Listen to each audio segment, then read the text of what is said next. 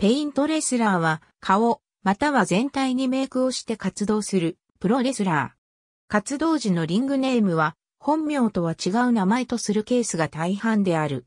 主に怪奇派レスラーが自身のキャラクターに肉付けする意味合いで使われることが多いが深い意味はなくともペイント自体が自身の代名詞となり得る場合もある。また、ヒールレスラーが顔に凄みを出すために利用する場合もある。日本国内では一般的にザグレーと歌舞伎を元祖とする傾向があるが、歌舞伎以前にも1970年代にデトロイト周辺でザ歌舞伎名義で活動したレスラーが歌舞伎の熊取りをした。また、マサ斎藤がワールドプロレスリング解説時に僕も昔顔に塗ってこういうスタイルでファイトしていました。外人には受けるんですよねと語っていたことから、ペイントレスラーの元祖が誰になるのかは諸説あり、定かではない。ただしコンスタントにペイントレスラーとして活動し、ペイントレスラーという呼称がついたのはカブキからであり、このことについて、マサ斎藤もカブキ以前にもいたことはいるんですけどね。やっぱり彼が元祖ですよと語っている。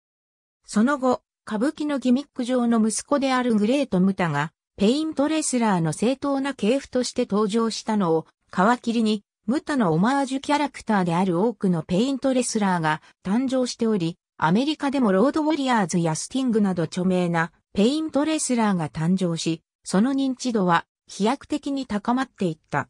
また、女子レスラーにも、井上京子やアジャコングに代表される著名なペイントレスラーが存在する。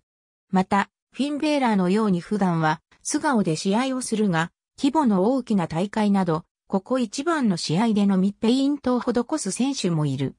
東洋系のレスラーがアメリカ人受けする目的で行い始めたため、主に日本、アメリカにおいて多く存在し、メキシコやヨーロッパのプロレスにはあまり存在しない。覆面と同様に地味なレスラーや、普段目立っていないレスラーにペイントさせ、注目を集めるといった工業的目的で使われることもある。また、ペイントをすることで元の自分とは異なるキャラクター、人格になりきり、素顔の時には出せなかった実力が発揮できる効果もある。武藤敬司がグレートムタに佐々木健介がパワーウォリアーに扮するように覆面レスラーとは違い、正体は明らかであるが、レスラーのバリエーションの一つとして別名義での活動が可能であり、初期の武藤ムタに見て取れるように素顔がベビーフェイスであっても、ペイントレスラー時ではヒールというように、たとえ素顔で知名度があるレスラーでもそのキャラクターは、そのままに、容易に二面性を演出できるなどの利点もある。さらに試合の途中からペイントを施し、別キャラクターとして試合を行ったり、試合ごとにペイントのデザインを変更できるなどの利点も存在し、覆面に比べ視界の確保が容易であることも、その一つとして挙げられる。覆面と違い、いくら上塗りを重ねてもリング上で激しく動くことにより、徐々に剥がれてきたり汗で塗料が落ちてしまうなどの難点があり、素顔を隠す場合には不向きである。特に初期のムタはこの例が顕著であり、試合終盤から終了にかけてほとんどペイントが剥がれてしまい、素顔の無糖になっていることが大半であった。ペイントが占める面積が多いほどこの例は顕著であるが、音量のように試合終了後もその素顔がほとんど見受けられない例もある。また、試合ごとにペイントのデザインを変更できる利点も、反面その都度ペイントを施さなくてはならない点や、ペイントが複雑な場合、毎回同じデザインで施すのが難しいなどの難点もある。多くの場合、レスラー本人が鏡を見ながら自身でペイントを施しているため、初期のムタのように文字が裏文字になっている例もある。ドインク・ザ・クラウン顔の一部、もしくは顔全体に何らかのデザインや文字を描く、もしくは目つきを鋭くするなどメイクの延長線上で行われるものなどがある。ペイントのデザインにモチーフがあり、レスラーとしての総合的なギミックに深く関与している場合もある。例完全なペイントレスラーではないが、インディアンをギミックとしたレネゲードウォリアーズやタタンカなどもインディアン部族をイメージしたペイントを施すことがあった。例示のレスラーのようにデザインやカラーリングをある程度固定している場合もあれば、初期のムタのようにカラーリングを統一せずにコスチュームと合わせたりするレスラーもいる。また、後期のスティングのように何らかのギミックチェンジがあった場合に、ペイントのカラーリングを別の配色に変えたり、一部だったペイントの範囲を顔面全体に広げる場合もある。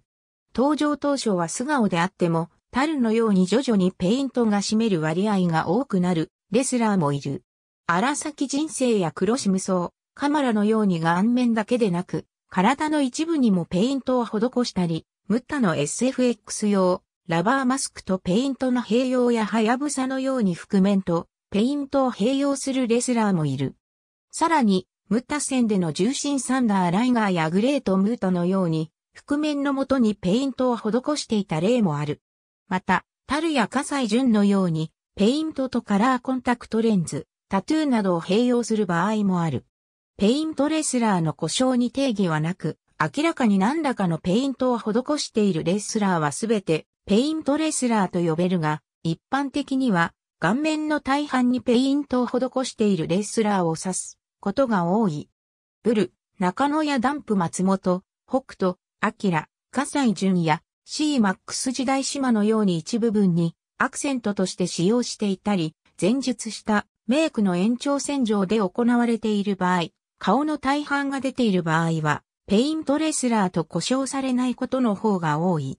しかし、ムタのように元がペイントレスラーで派生していったものや、 AKIRAのトカゲを模したようなオブジェを顔面に接着した覆面とペイントの中間に位置するような場合は、便宜上ペイントレスラーの扱いを受けることもある。前述したハヤブサのような例は覆面レスラーの類であり、覆面の下にペイントを施している場合は、ペイントをしている覆面レスラーといった具合で、ペイントレスラーのくくりに入れられることは少ない。ペイントに使用される材料は一般的な化粧道具の他に、主に水性アクリル絵の具が使用される。